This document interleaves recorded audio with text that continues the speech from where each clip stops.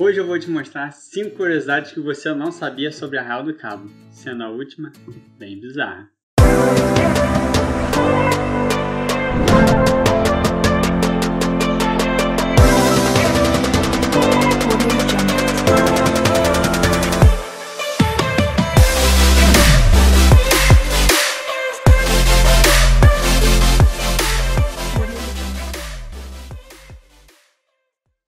E aí, tudo bem? Eu sou o Bruno Costa, seu youtuber aqui de Arraial do Cabo. Antes de começar o vídeo, já vou pedir para você já se inscrever no canal e curtir esse vídeo. Isso me incentiva bastante a estar tá trazendo sempre conteúdo de qualidade toda semana para você. Bora pro vídeo? Arraial do Cabo sempre foi envolto por lendas e histórias locais, algumas vezes curiosas e outras vezes macabras. Por aqui, todos os anos passam milhões de pessoas em busca de suas praias paradisíacas e suas paisagens de cair o queijo mas poucos sabem o que tem escondido debaixo de suas areias branquinhas e água cristalina daqui. Por isso, hoje eu vou contar para você 5 curiosidades que você não sabia sobre Arraial do Cabo. Três praias mais bonitas da América do Sul. Para começar a nossa lista, vamos falar das três praias que no ano de 2020 foram eleitas as mais bonitas da América do Sul, com o prêmio Travelers da TripAdvisor. Travelers. Como é? Travelers. Travelers.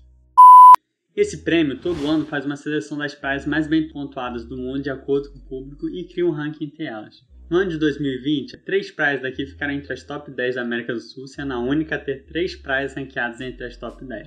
Com as prainhas do Pontal Atalai ficando em segundo lugar, a Praia do Farol ficando em terceiro lugar e a Praia do Forno ficando em quarto lugar. Primeira missa em local fechado no Brasil.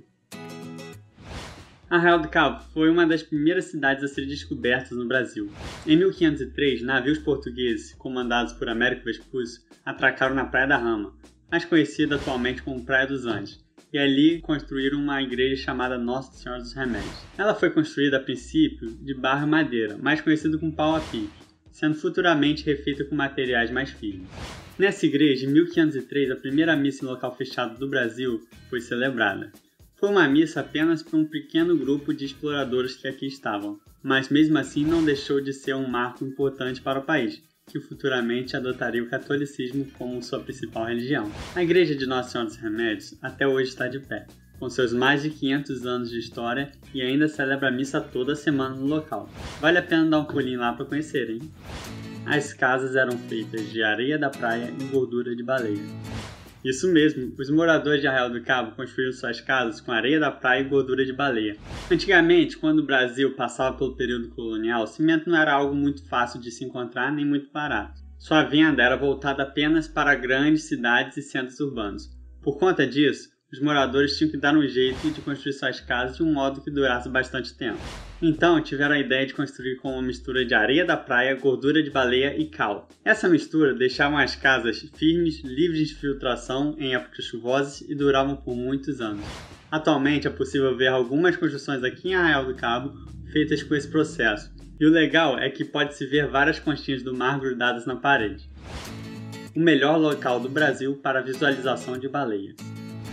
Todo ano, entre 21 de junho e 22 de setembro, ocorre a migração das baleias jubardes em direção ao hemisfério norte, procurando águas mais quentes para acasalar e dar luz a seus filhotes, fugindo do inverno do hemisfério sul.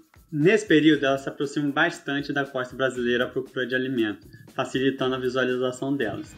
Arraial, por ser um cabo de terra saindo do continente indo em direção ao alto mar, faz com que ele seja uma das principais cidades do país para se observar as baleias, já que elas têm que passar por aqui para seguir seu caminho. Todo ano, milhares de pessoas vêm para Real só para ver elas se exibindo e pulando nas águas cristalinas daqui. Elas fazem um show à parte, lindo de ser observado. Cemitério na Praia do Farol. Imagina agora você caminhando na areia da praia, indo mergulhar para se refrescar e dar de cara com o osso humano. Qual seria a sua reação? Ficaria com medo? Se sua resposta for sim, fica calmo que não é bem assim como você deve estar pensando. Na Praia do Farol, dificilmente você vai encontrar algum osso na areia da praia ou dentro d'água.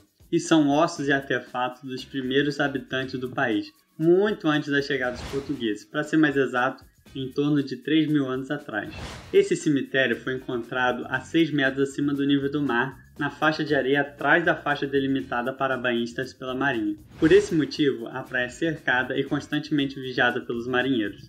O nome dado a esse cemitério antigo é Sambaqui, onde o povo que morava ali enterrava seus entes queridos junto com conchas e artefatos culturais formando um morro artificial no local.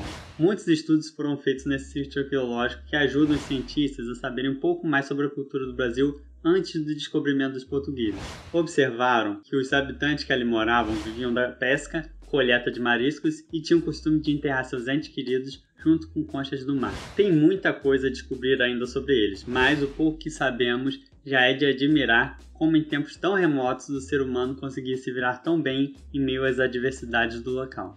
E aí, gostou dessas curiosidades? Se quiser que eu traga mais curiosidades como essa aqui no canal, comenta aqui embaixo. Ah, e não se esquece de dar o joinha se gostou do vídeo, se inscrever no canal e compartilhar com um amigo seu. Se você também quiser ver várias fotos legais aqui de Arraial, dá uma passada nas minhas outras redes sociais. Estou sempre postando novidades por lá. Te espero lá, hein? Tchau!